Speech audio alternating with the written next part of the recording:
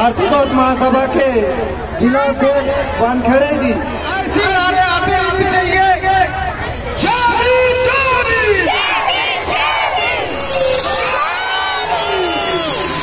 रहेगा इसी के साथ क्रांतिकारी जय भीम जय भीम धन्यवाद जय जय जय जय जय भीम जय जय जय जय भीम आगे वाले बोलो जय भीम पीछे वाले बोलो जय भीम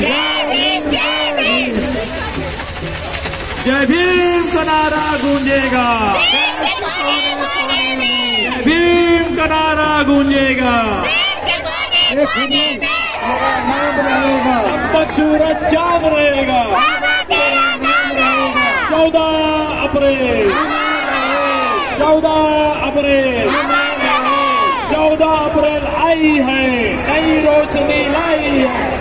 चौदह अप्रैल आई है।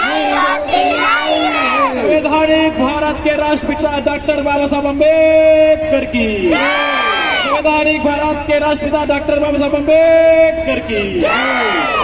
जय भीम का नारा गूंजेगा।